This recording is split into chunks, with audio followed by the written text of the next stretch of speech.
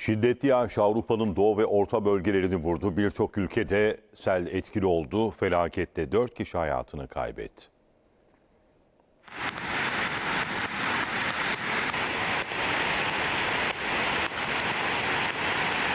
Barajlar yıkıldı, yollar kapandı.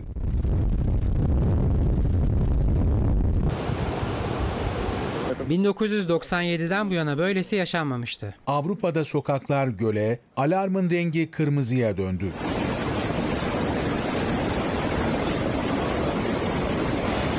Garaj tamamen kapandı. Kileri de göremiyorum. Aslında meteoroloji uyarmıştı. Ancak bu kadarı da beklenmiyordu. Kıtanın orta ve doğu bölgelerinde yağış adeta dinmek bilmedi. Boris fırtınası hayatı felç etti.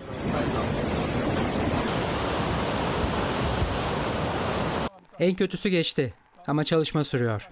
Korkunç bir hasar var. Romanya'ya saatte metrekareye 150 litre yağış düştü. Binlerce ev hasar gördü. Güney Almanya'da da benzer görüntüler vardı. Slovakya'da köylerde su baskınları yaşandı. Macaristan'da Tuna Nehri'nin rekor seviyelere ulaşacağı açıklandı. Önlemler had safa çıkarıldı.